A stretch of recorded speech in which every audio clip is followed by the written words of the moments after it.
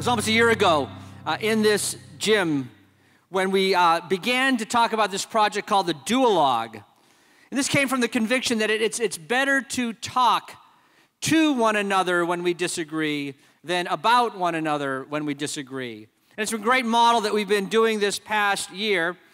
Last week I was in Washington, D.C. I heard Arthur Brooks talking, and he was meeting with some Christian college presidents talking about what's happening not only in Christian higher education, but also in our nation. Arthur Brooks is the president of the American Enterprise Institute.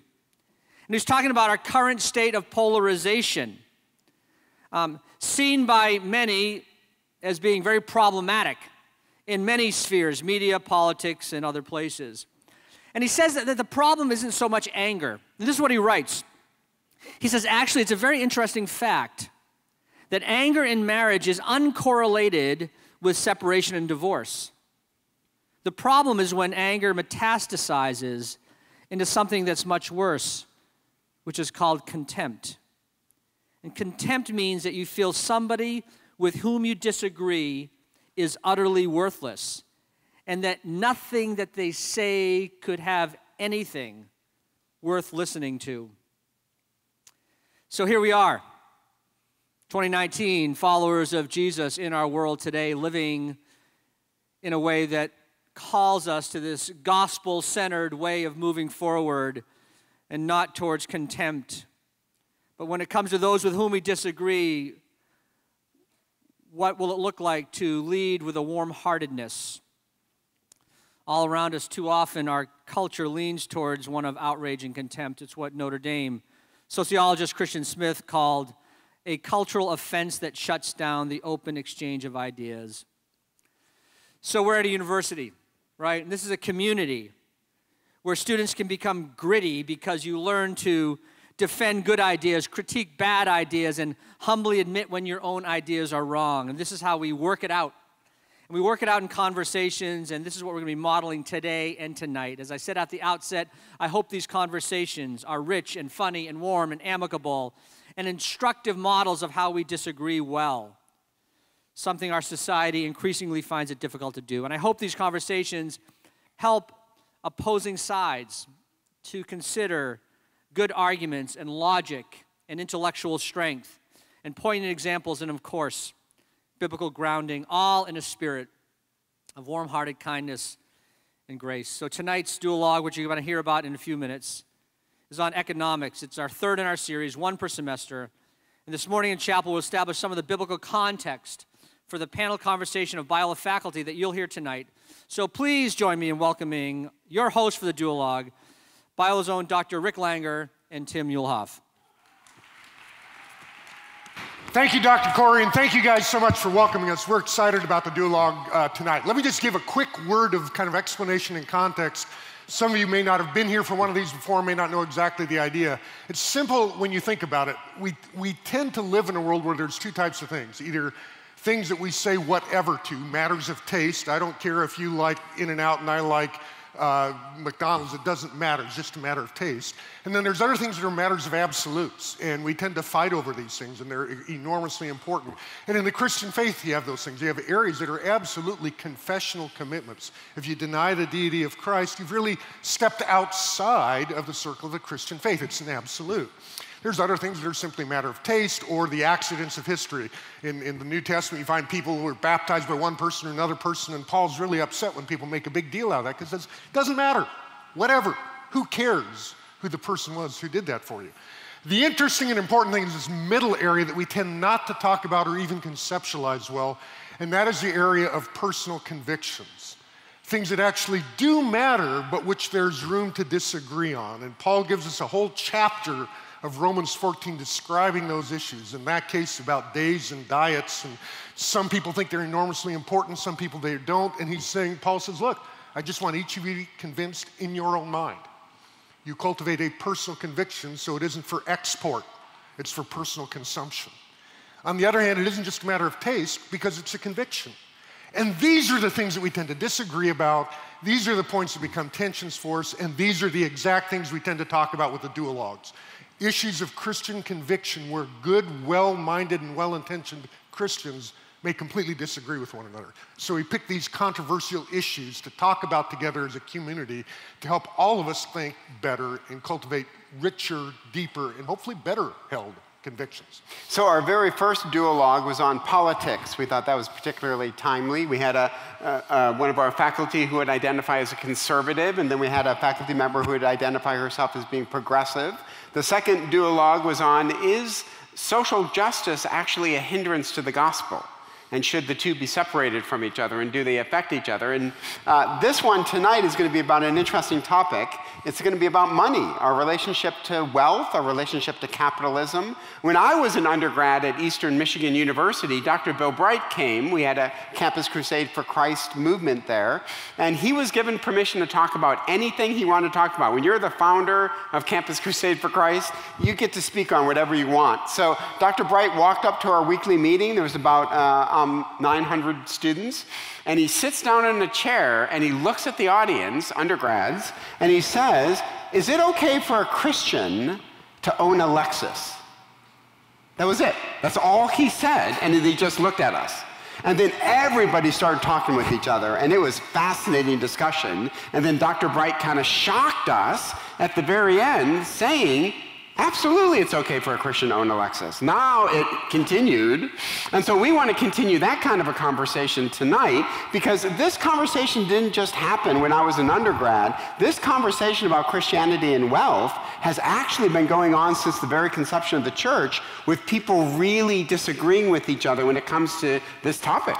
Yeah, it's one of those things when you go back through church history or even go around the world, you find an enormous amount of different perspectives. People disagree on, on what good money is or whether money is good at all. They disagree about whether we should have personal and private possessions or whether we should be holding things in common. They disagree about the accumulation, saving, and accumulation of wealth versus giving and being generous. They're just enormous discrepancies in terms of how we think about it that all emerge from people's reading of the same Bible and really the same New Testament. So let's take a few moments to take a look at some of these sorts of quotes and glimpses of people's thought about money. Okay, very first one. Uh, Andrew Murray, the world asks, What does a man own? Christ asks, How does he use it? Maybe it isn't how much money you have, maybe it's all about how you use that money for kingdom priorities. Uh, Ambrose says this you, you, strip people naked and dress up your walls. The naked poor cries before your door, and you do not even look at him. It is a naked human being that begs you, and you are considering what marbles to use for paving. Wow, let's move on. That's way too convicting. Go ahead with Tertullian. Yeah. So Tertullian makes this comment. Besides, can a man be poor if he's free from want? Or does he not and if he does not covet the belongings of others. Rather, he is poor who possesses much but still craves for more. Interesting, one of the things that Christians have done is defined rich differently, mm. exactly by what we do and don't crave rather than by what we do or don't possess. Here's a great quote from a, a colonial preacher, actually an early president of Harvard as well. Riches are consistent with godliness, and the more a man hath, the more advantage he hath to do good with if God gives him a heart to do it. Interesting point. He says, money, the more the better, as long as you have a heart to use it well. I was going to go to Harvard, but decided to go to Eastern Michigan. I can only imagine, yeah. Just use it well, Tim, use it well. Uh, this quote about the Puritans were convinced that money, this is interesting, was a social good, not a private possession. Its main purpose is the welfare of everyone in society, not the personal pleasure of the person who happens to have control over it. Interesting thought. Uh, and we had a Piper quote. It didn't make they it. They cut it. I, they cut the Piper that quote. That was your quote, too. Yes. So John Piper says this. Piper says the idea of a tithe is merely the American Christian middle class ripping off God. I thought that's fascinating. I just wish Piper was more clear in what he would communicate. Oh, there it is. My take on tithing is, Amer- is in America is that it's a middle class way of robbing God. That you should give much more than 10%. That 10% thing is bogus, maybe even unbiblical, and we need to give much, much more than just 10%. So that gives you an idea of the breadth of the controversy and issues like that. Here's what we want to do now. I'm going to invite Scott Rae to come up and give us like a 10 minute biblical overview of biblical teaching on money. And then we're going to follow up and take a look at what we'll be talking about tonight. So, Scott, come on up. Well, thank you all. I'm looking forward. To, I'm a panelist on the duologue tonight, and I promise, I promised my other panelists I wouldn't start giving my own position.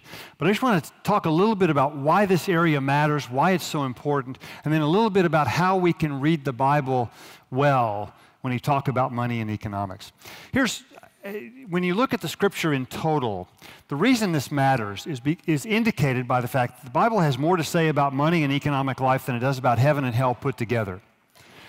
And you think about that, why, why is that? Well, there are several reasons. There's theological reason, there's a practical reason, and then there's a really personal reason. The theological one is that with God becoming a human being in Christ, the incarnation tells us that both the material body and the material world matter really deeply to God.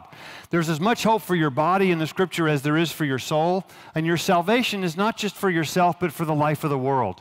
And all, the, all of creation is groaning for its redemption at present, which suggests that it will all be redeemed at some point in the future. Another reason the Bible has so much to say about money and economic life is that there's hardly any aspect of our lives that is untouched by money and economics.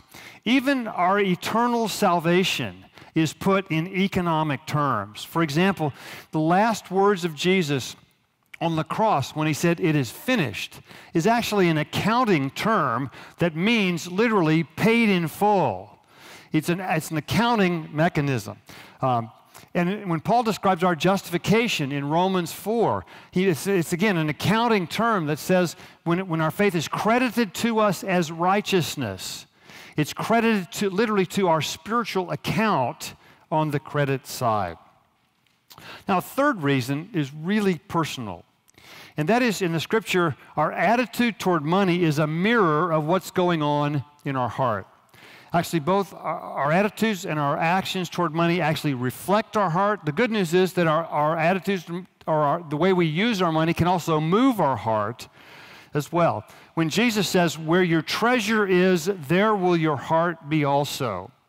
What he indicates is that there are a handful of things in the scripture that are mirrors to our deepest passions and priorities. And how we, how we talk about, how we think about, how we use our money is one of those that, if it's not at the top of the list, it's really, really close.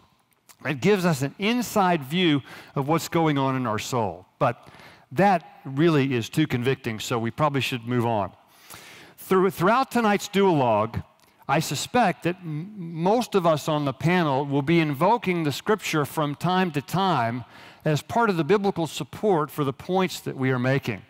And so, what I want you to remember when you hear different people invoke the scripture on money and economics is how to read the Bible well on this. And what I think what we have to do is that sometimes we forget.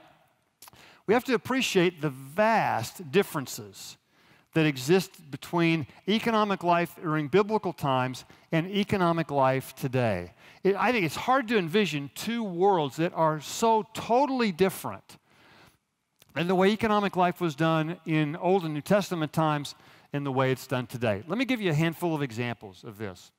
For one, in the economic world of the Bible, the, the overwhelming majority of people made their living off the land in either subsistence agriculture or in some in small trades like the family of Jesus. But in the economic world of today, we have a dynamic, uh, bustling information and industrial economy, and hardly anybody today in the developed economies makes their living off the land the way they did in biblical times. Here's another difference that's really important. In the ancient world, the, the vast majority of people were stuck in the same socioeconomic st- strata that they were born into. There was hardly any socioeconomic mobility where you could improve your economic standing. There were no rags to riches stories. There was no emphasis in the Bible on ambition because that would be sort of, you know, what for? Because there was really no there was no way for people to, to, get, to get ahead economically. Today, however, huge economic mobility is not only possible, but I suspect that most of you in this room expect that. In fact, I suspect that most of you in this room believe, almost assume, that 10 years from now you will be better off financially and economically than you are today. In the ancient world, nobody had vocational choices. In fact, if somebody from the ancient world came into our career center, they, I mean, they would, I mean, their head would explode. And they would think, what on earth is this for? This has no use at all. Because you were you did what your family did and you had hardly any choice. Today we have huge amount of vocational choice. We have, you know, we, we're encouraged to pursue our passion. The ancient world, they would think, huh? You pursue their passion was to actually have something to eat at the end of the day. In the ancient world, nobody retired. You worked until you either dropped dead or could no longer work. Uh, today, it's assumed that people will not work forever, that you will somehow be able to retire from working and to do other things with your life. Let me just sort of summarize it. The, the economy in the ancient world is what we call a zero sum arrangement, which means that there's one pie that's fixed. The size of the economic pie was fixed. And if I get a bigger slice, then you get a smaller one. And wealth was gained in the ancient world primarily through taking. And literally, the, the wealth of the rich was gained at the expense of everybody else by taking it from them. That's why the prophet speaks so much about oppression and injustice in the economic realm. But today, it's totally different from that. Today, we have a dynamic wealth creating economy where wealth is, is gained primarily through making something that somebody else wants. And it's, today it's entirely possible to do well financially and to do good for your community at the same time. In the ancient world, that was virtually an oxymoron because the only way people got wealthy was, was, was through things that were ruled, I think, completely immoral and, and utterly faith compromising. So uh, that, that has big implications on how we read the scripture when it comes to wealth and possessions. And so, whenever, when you read the Bible on money and economics, I would suggest that you not only read the text for its face value, but ask yourself, why does the Bible say what it does about money and wealth and economic life? And some of the reasons the Bible says what it does has to do with some of these vast differences between the ancient world and today that we have to take into account. So I hope you'll come tonight. I think it'll be a really rich conversation. Uh, super looking forward. I am one of the participants. Uh, there's going to be five of us, so instead of a duologue, it's going to be a pentalog.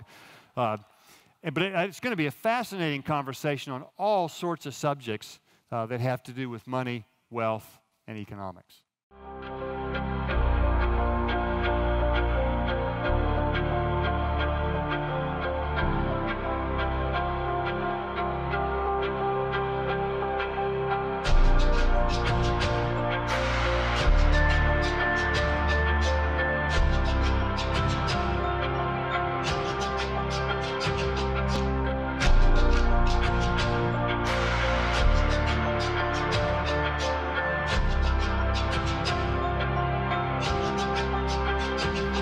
When Christians tithe 10% of their income, are they acting in a biblical way?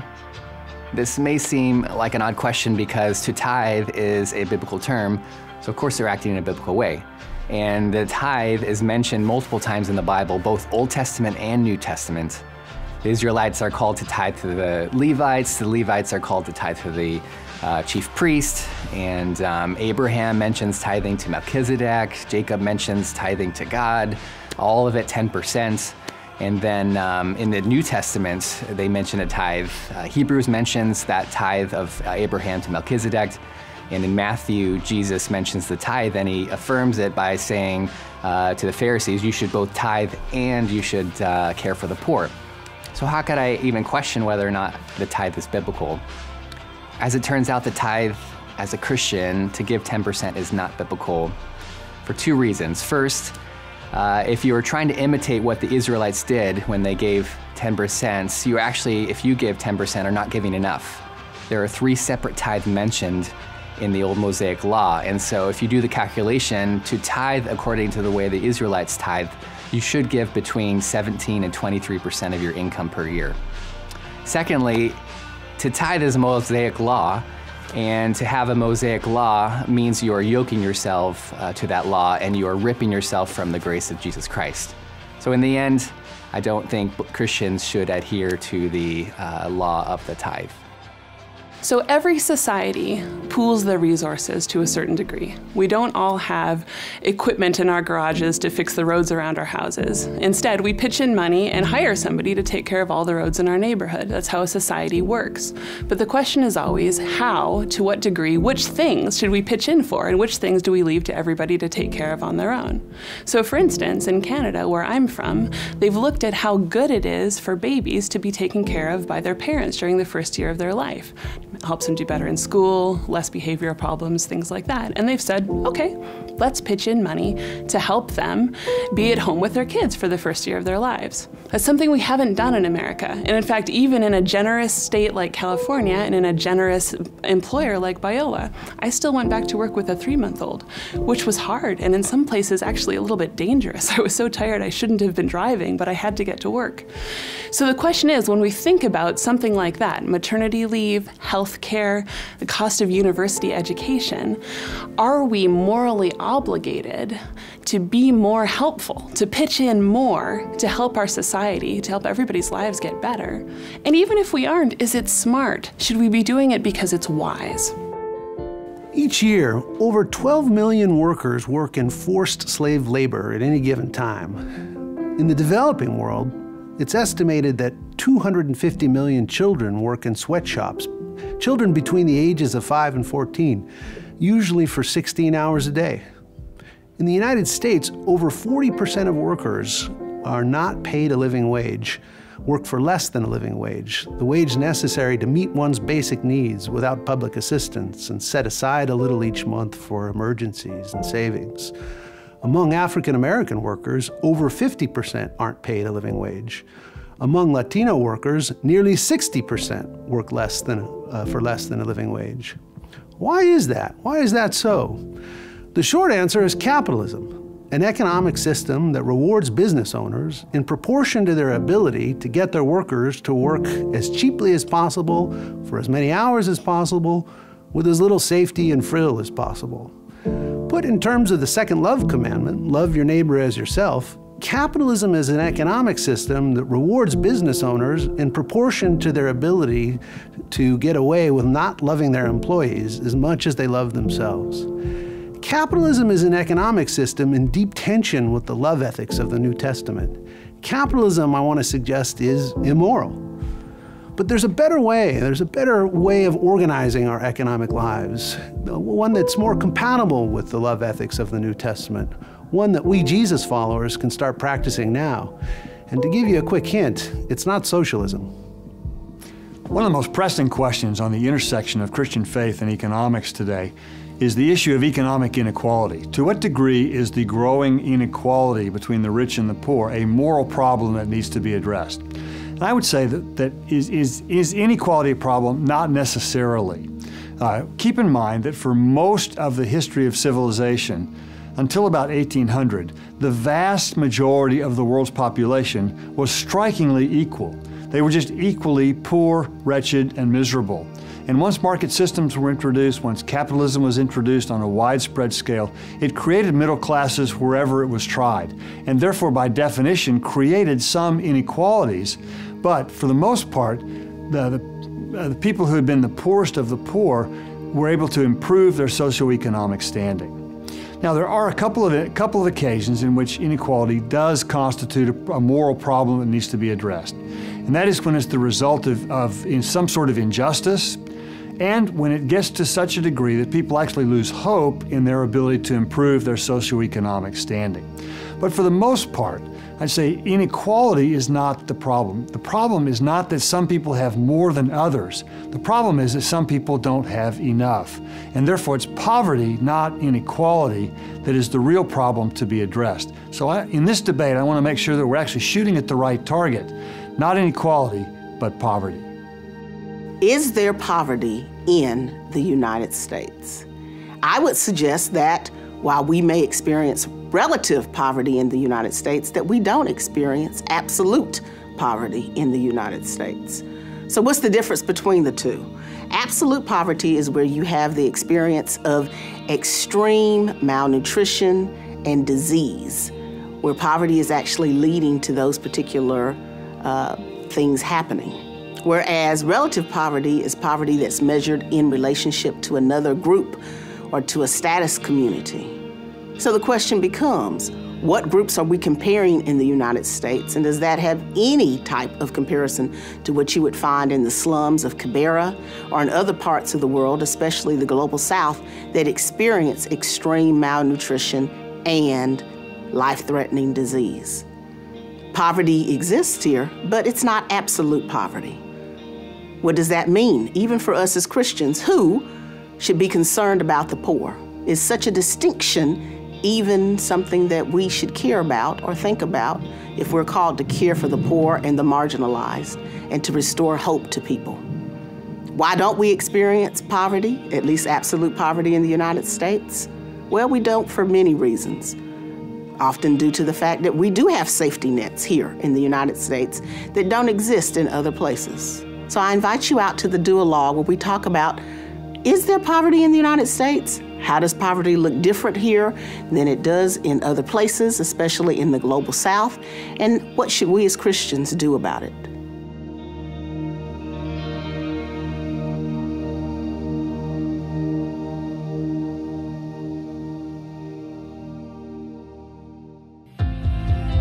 Discover who you're called to be at Biola University, a leading Christ centered university in Los Angeles, with programs on campus and online. Subscribe for more of our videos and learn more at biola.edu.